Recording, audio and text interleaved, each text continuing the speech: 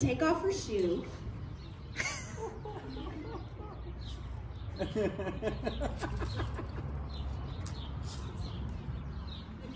I mean, it took some time. This was all part of the processing. And then she'd take off her sock. And then, wait, and then she'd take the sock and put it on her hand and talk to you through her little sock dog. The little sock dog. And what- with the hole, yeah, it had a little hole in the top. What was your sock dog's name? Puma, that's right, Puma the sock dog. And what Puma would do is ask you questions like, how are you today? How are you today?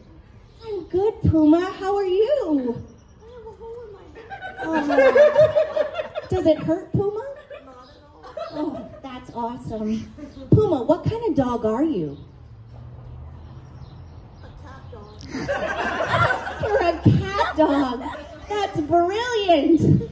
I had a dog, Sherlock Bones, who was part border collie and part Doberman because there was a border collie and a Doberman who lived next door to each other on our street, and there was a very low hedge. yeah, you know. Oh, Puma, the cat dog. You're brilliant. I think I'm going to add you to my list.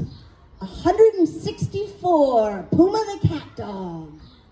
Have I told you about my list? Yeah, I've heard about your list. You've heard about it? Well, we should just recap anyway. I'm making a list, Puma, of a thousand brilliant things. And I'm not certain, Puma, but I think I'm a genius. I think I agree. Oh, Puma, you're so validating. That's what I'm here for. Thank you, Puma. It was really nice talking to you, but can I go now? Sure. All right, thanks.